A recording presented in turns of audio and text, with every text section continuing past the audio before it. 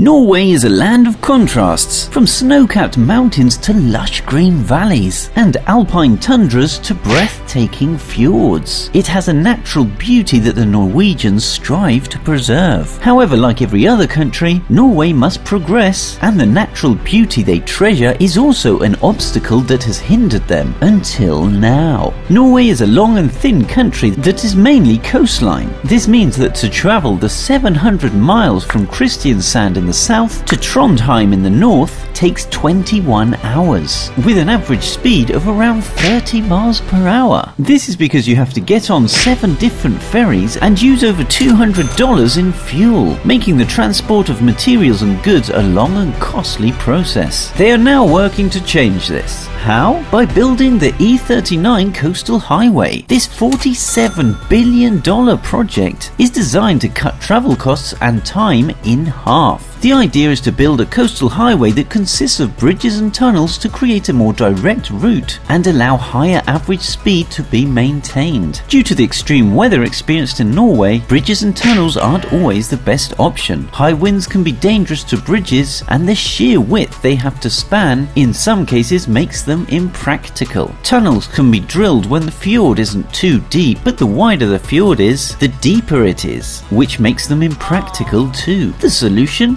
Floating tunnels. Yes, floating tunnels. These SFTBs or submerged floating tube bridges are designed to balance the weight of the tunnel with its buoyancy, so the tunnel can literally float below the surface. Cables attached to the seabed or to floating pontoons will secure them and the tunnels will be sunk to a sufficient depth so as not to be in danger of collision from boats or ships. These tunnels will have emergency exits, lights and phones at various intervals, as well as their own dedicated emergency services in case of a breakdown or accident. The project is estimated to cost $47 billion, although some estimate it to be closer to 90 billion to finish the project. Once finished, tolls will be charged for the first 20 years to cover the costs. While this project may seem extravagant and expensive, the estimated benefits to commerce and tourism are far superior. I mean, who doesn't want to drive through a floating tunnel?